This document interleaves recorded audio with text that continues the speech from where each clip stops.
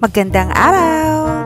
Welcome sa aking channel, ang Angela Cosinera, The Singing Cook. Ngayong araw ay tuturuan ko kayo kung paano gumawa ng ensemada. Super cheesy ensemada.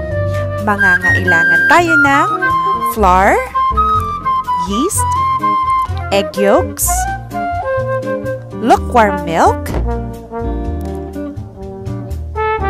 melted butter, at granulated sugar.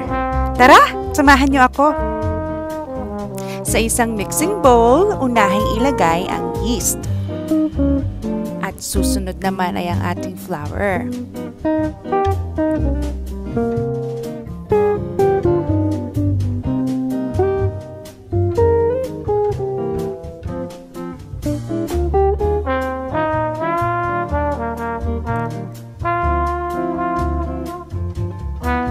Siguraduhin nating mag-mix ng mabuti ang flour at ang yeast. Ngayon, ready na tayong mag-knead. Ilagay ang tuhok sa ating mixer. Ilagay ang egg yolks.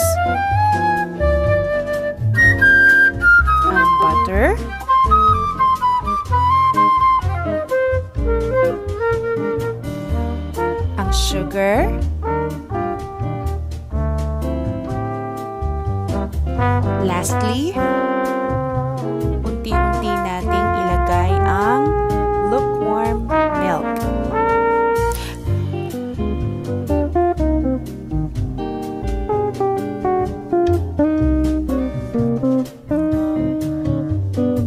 Kung sa palagay ninyong masyadong sticky pa ang ating dough mixture, maaari tayong magdagdag ng additional na flour.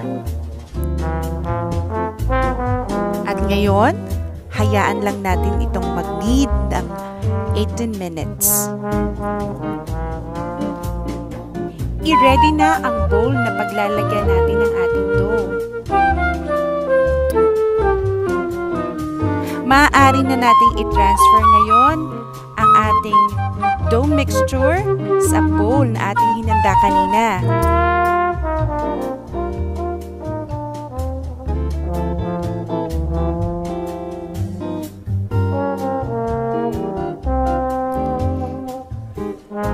Maaari na ngayong ilagay ang ating dough sa bowl na ating hinanda at ready na ito para sa ating first proofing. Make sure na lagyan ito ng cling wrap para sa ating pagpapaalsa. Ayan, ready ready na ang ating dough para sa pagpapaalsa. Usually, 2 hours ang hinihintay ko.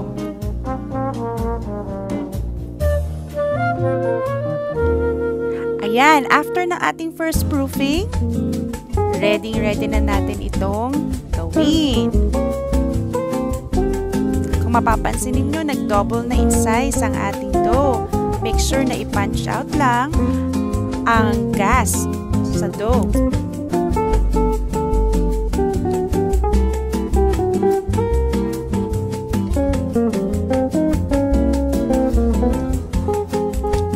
Ating ensaymada mixture ay makakagawa ng labing dalawang ensaymada.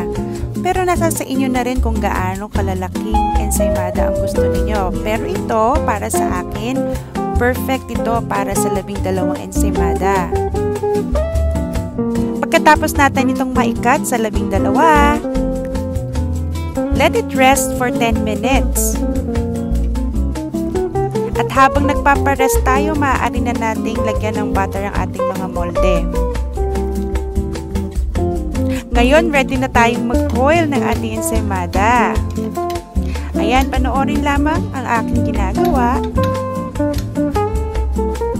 I-flat and then lagyan ng maraming butter kasi ito yung nagpapasarap talaga sa ensaymada. Ready na natin itong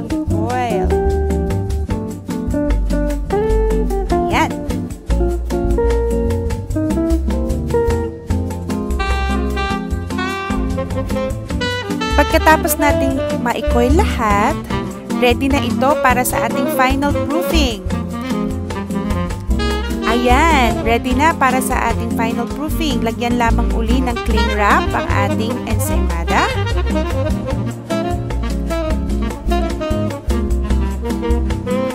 And let it rest for at least an hour bago natin ito i-bake. Ayan, ready-ready na i-bake ang ating ensaymada. Ko, tingnan ninyo kung gaano kaganda ang ating ensaymada.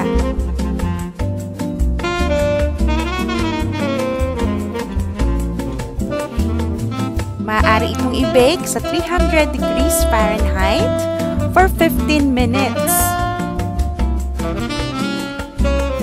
Habang naghihintay tayo, maaari na nating i-cream ang ating toppings. Mangangailangan tayo ng half cup of butter at half cup of sugar.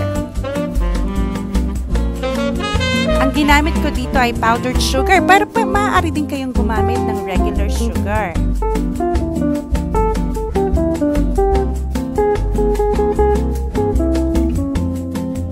Make sure lang na makream nating mabuti ang ating butter at sugar.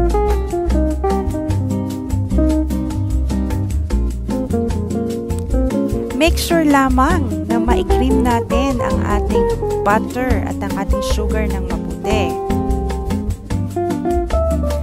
After 15 minutes, ready na ang ating ensaymada. Napakalambot at napakasarap.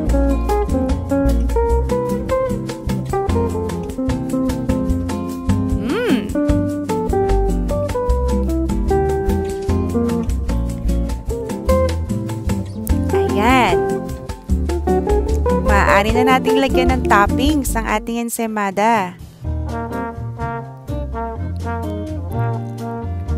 Mas maraming cheese, mas masarap. Sobrang time-consuming ang paggawa ng ensaymada. Pero kapag natutunan mo itong gawin, sobrang sulit.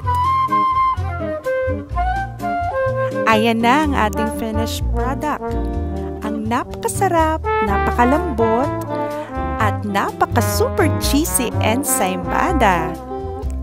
Sobrang favorite ito ng aking family. Kaya natutunan ko itong gawin. Napakasarap, di ba? Mas lalong masarap ito if you will warm it up for 30 seconds. Tingnan ninyo, nagme-melt ang butter at ang cheese. Yum! Thank you for watching. Don't forget to like, share, and subscribe dito sa Angela Cusinera, The Singing Cook. God bless everyone!